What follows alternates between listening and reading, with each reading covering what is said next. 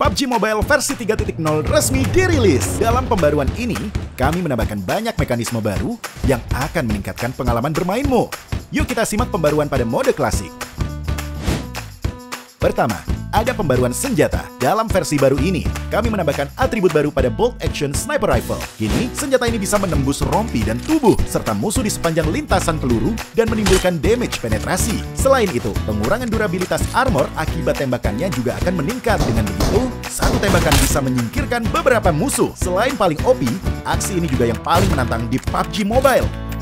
Buruan ikuti tantangannya. Dengan pembaruan ini, kami yakin Bolt Action Sniper Rifle akan jadi pilihan utamamu di musim depan. Selanjutnya, ada pembaruan kendaraan. Di versi baru, kamu bisa memakai perban dan obat-obatan energi sambil menyetir. Tapi, perlu kamu ketahui bahwa kit medis dan kotak P3K masih belum bisa dipakai sambil menyetir. Jadi, kamu nggak perlu cemas karena nggak bisa heal saat keluar dari zona biru sambil nyetir. Kami juga menambahkan skuter ke Erangel, Miramar, dan Livik. Di mode klasik yang sudah diperbarui, agar pengalaman bermainmu jadi lebih mulus dan realistis, kami mengoptimalkan aksi dasar, seperti gerakan dasar, memanjat, dan jatuh. Selanjutnya, saat ads, kami juga mengoptimalkan animasi overlay dan memperbaiki bug pada scope. Terakhir, saat menembak, kami meningkatkan kecepatan dan respon saat beralih senjata, mengintip, dan melakukan aksi lainnya. Untuk mengurangi lag, jangan cemas. Pembaruan ini nggak makan banyak memori kok. Kami yakin bahwa versi baru ini akan memberi pengalaman bermain yang lebih baik.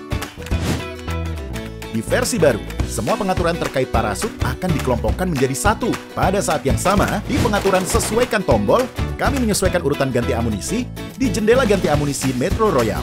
Di halaman sesuaikan tombol untuk karakter, saat menempatkan tombol isi peluru di dekat tepi atas layar, jendela ganti peluru akan diperbesar ke arah bawah.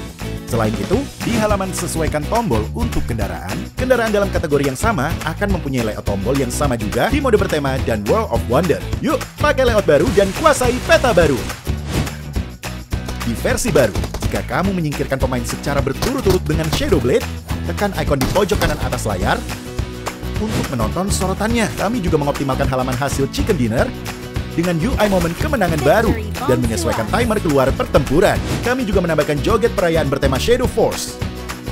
Menang di mode Shadow Force dijamin lebih seru. Temukan lebih banyak konten menarik dalam game.